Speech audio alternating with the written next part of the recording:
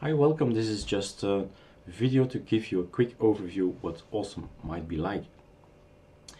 We have here a bar at the top. We have our workspaces, one, two, three, four, five. So you can have all applications. You can choose where you start an application. Now I'm on four. On two, I'm gonna start my Firefox. And there it is. This is how responsive it is. Remember, this is VirtualBox 4 processors rather than 8. So even so, uh, everything just loads up and let's start also Inkscape just for fun. So closing up is, is action, the action is quickly, uh, the response is quick, uh, response time. So that's super. We have here network and PAMAC and we have variety. If we can, if we want, we can always change from wallpaper, but I've seen that blue is probably the most interesting with this blue up here. So we have themes, two of them and um, we can click on this one. We have songs or we just right mouse click it and it's gone again. So play don't play and it's very quick in response. We have the sound that uh, responds to your buttons on your keys some memory some information. We're in VirtualBox that's why not available is here. And this works just fine. So the weather in Belgium Antwerp is light rain rain rain rain. So great days for uh, to make tutorials. Super days and this is uh, for a battery if you have one. So this is desktop not a laptop. Some information about your network and you just can click in here.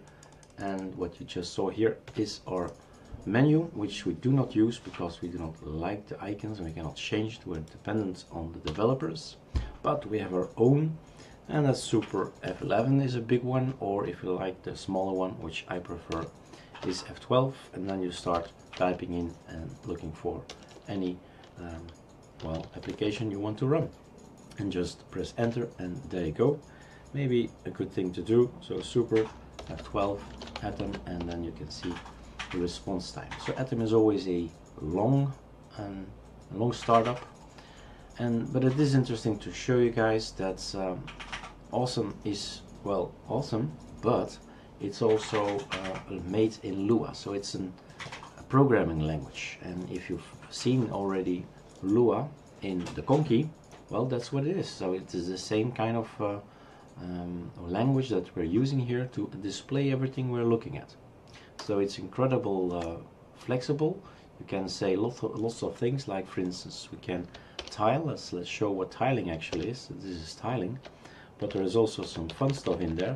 So I would like to have some uh, gaps in here, and I see back there I see the Conky through the windows. I say, no, no, Conky gone, Conky gone, fine. And then you have this information available. This button up here tiles everything, so you can float as well if you say I want to rather uh, to have it the one over the other. So uh, no problem there. Just start clicking. But it's a tiling manager, so it's actually intended to tile everything automatically like this, and or move it around like so any of these.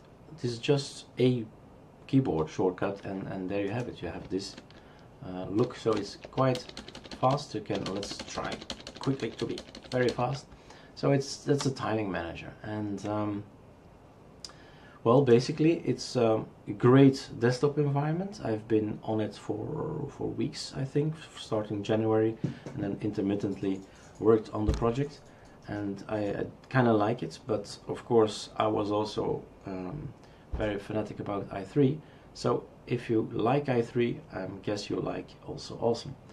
Um, so well give it a go. There are 24 25 I think now tutorials online just to explain you what awesome is and how it works and give it a try. That's all I can say. Alright have fun